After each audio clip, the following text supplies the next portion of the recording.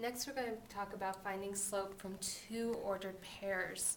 We could plot these points on a graph, but sometimes the points are so large it would require a, a large graph, and it's more convenient to find the slope using a different formula.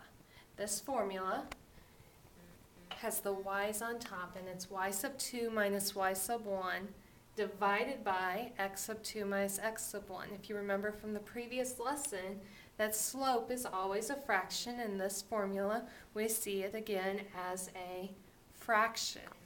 Okay? To use this formula, we're going to use two different ordered pairs. These are any two points that lie on the line. In this case, we've got the point negative 1, 15 and negative 10, 0. This is the first point, so we're going to name this point, or this ordered pair, x1 and y1, where the y, the ones actually stand for being the first point. And this would, in negative 10, 0, we have our second x and our second y. To find the slope, we're just going to plug these four numbers into our formula, starting with y2 minus y1. So we would have 0 minus 15. In the denominator, we would have negative 10 minus negative 1. The minus negative turns to plus positive. We have negative 15 divided by negative 9. Okay? If you remember from integers, a negative divided by a negative is always a positive. So we're going to take our two negatives, negative 15 over negative 9, and make them positive 15 over positive 9. And then from there, we still need to reduce our fraction. 3 goes into both 15 and 9. 15 divided by 3 is 5, and 9 divided by 3 is 3. So the slope of the line between these two points would be 5 thirds. Let's look at another ordered pair. 3, negative 4, and 3, 2. First, we will label our x1 and y1. And then the next ordered pair will be x2 and y2.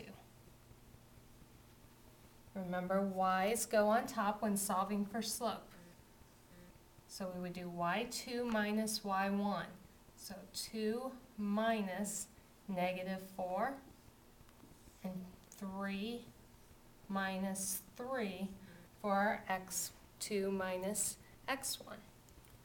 2 minus negative 4 again turns to plus positive, and that gives us 6, and 3 minus 3 is 0. When the 0 is underneath, when the 0 is underneath on our fraction, the slope is undefined. The slope is undefined.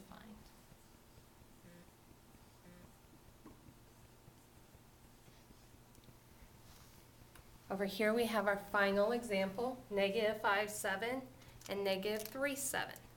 Go through the same process again with these two ordered pairs. x1 and y1, x2 and y2.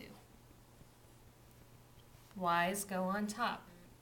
y2 is 7 minus y1, which is 7 x2 minus x1 would be negative 3 minus negative 5. 7 minus 7 is 0.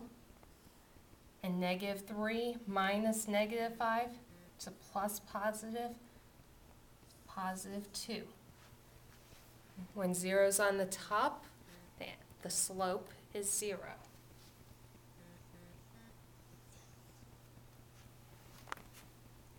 Thank you for watching this lesson on slope.